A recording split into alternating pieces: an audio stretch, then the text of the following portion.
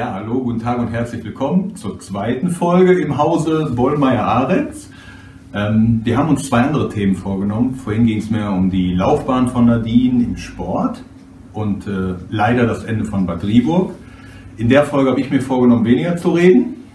Ähm, und deswegen darf ich Nadine direkt mal erzählen, als du am Ende der Jugendzeit warst, kam mir irgendwann die Frage, was mache ich? Mache ich schnell eine Ausbildung? Mache ich überhaupt eine Ausbildung? Werde ich Profi? Werde ich nicht?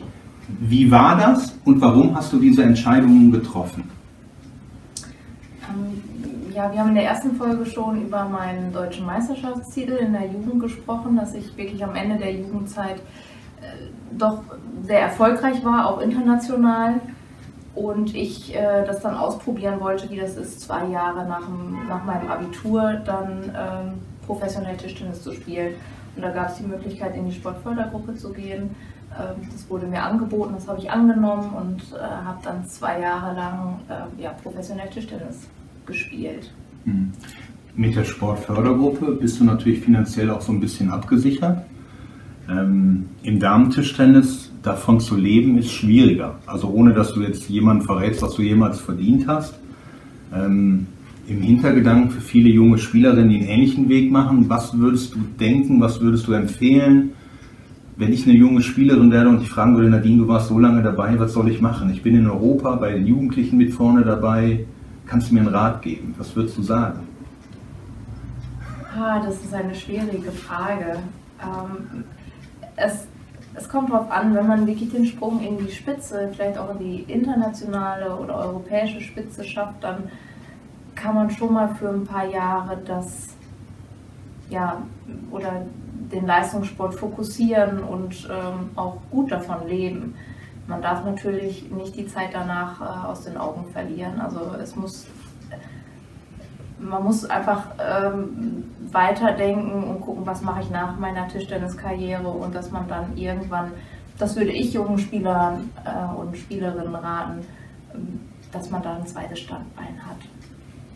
Ja, ich denke auch, dass das äh, ganz wichtig ist, eine duale Karriere zu verfolgen und nicht nur auf die eine Sache zu legen, nicht nur den Profisport zu machen, unabhängig davon, ob es Tischtennis ist, weil ähm, außer Misserfolg kann es natürlich auch mal eine Verletzung oder irgendetwas geben, was dann den Erfolg äh, auch verhindert. Oder Corona. Oder Corona.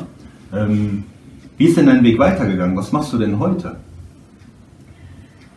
Also ich habe äh, dann nach der Sportfördergruppe, weil ich gemerkt habe, oh, nur Tischtennis spielen, das füllt mich nicht so wirklich aus. Ich, brauch, ich brauchte auch was nebenbei. Ja. Äh, habe ich angefangen, Sport zu studieren das lag jetzt auch relativ nah, weil ich das einfach auch, also ich mochte auch andere Sportarten.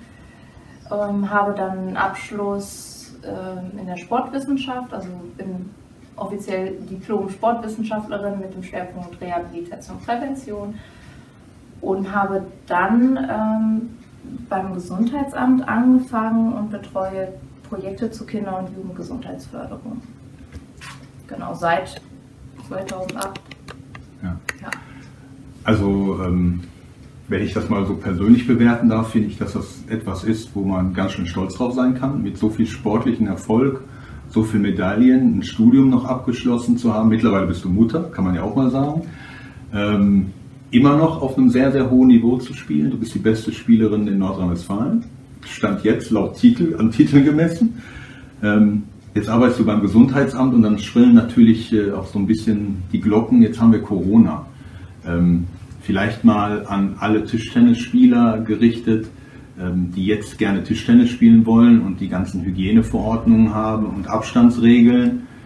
Ähm, die sollen nicht Schikane sein, ähm, die sind wichtig einzuhalten.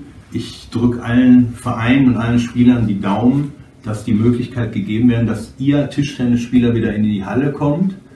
Und vielleicht kann Ihnen Nadine als ja, Beraterin eines Gesundheitsamtes vielleicht auch nochmal kurz darlegen, warum das einfach alles wichtig ist, dass man das einhält äh, und das nicht so auf die leichte Schulter hält. Hast du da einen Rat für alle Tischtennisspieler in Nordrhein-Westfalen, ganz Deutschland oder vielleicht sogar überall? Weil den Virus möchten wir ja möglichst schnell wieder loswerden. Ja, also erstmal ist durch die jetzigen Lockerungen natürlich erstmal wieder möglich, ähm, Tischtennis zu spielen in einem gewissen Rahmen, ja, dass die Vereine öffnen dürfen oder auch das WTTV-Training äh, bald wieder starten kann. Ja. Ähm, das ist erstmal gut, aber es ist super wichtig, die Hygienemaßnahmen zu befolgen. Das heißt wirklich regelmäßiges Händewaschen vor dem Training, nach dem Training. Ähm, Abstand halten, ganz, ganz wichtig. So wie wir. So wie wir jetzt. Und ähm, ja, und generell ähm, sich immer bewusst werden, man könnte oder sich bewusst machen, man könnte jederzeit selbst betroffen sein, ja, positiv sein und ähm, wen würde ich dann alles anstecken. Ja? Also wenn man sich das vorstellt, dann, äh, dann hält man, glaube ich, automatisch einfach ein bisschen mehr Abstand. Und Tischtennis ist zum Glück eine Sportart, wo es keinen Körperkontakt gibt, keine Kontaktsportart. Ähm, ich, ne, also man kann sich eingrenzen mit Bällen, man kann Abstand halten. Doppel muss man dann eben auch einmal einfach nicht spielen, sondern kann äh, ja eins gegen eins ganz normal trainieren ja. und da dürfen wir uns glücklich schätzen, ja. dass wir das können und diese Chance sollten wir nicht verspielen. Vielen Dank. Ich hoffe, ihr habt da alle gut zugehört. Vielen Dank, Nadine, fürs Interview. Ich habe mich super gefreut, dass du dir die Zeit genommen hast, gerne. dass ich sogar eingeladen war und noch was zu essen bekommen habe. Gerne, gerne. Vielen Dank, Bernd, dass sehr du gerne, für gerne. die schönen Bilder und Ton gesorgt hast.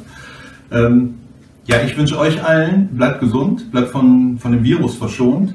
Habt viel Spaß, egal wie mühsam es ist. Ihr liebt Tischtennis und dann drückt mal ein Auge zu, dass ihr vielleicht äh, nicht alle Leute abklatschen könnt. Denkt ans Händewaschen, alles, was Nadine gesagt hat, alles, was ihr lest. Ihr kennt mittlerweile alles. Haltet euch einfach, einfach dran.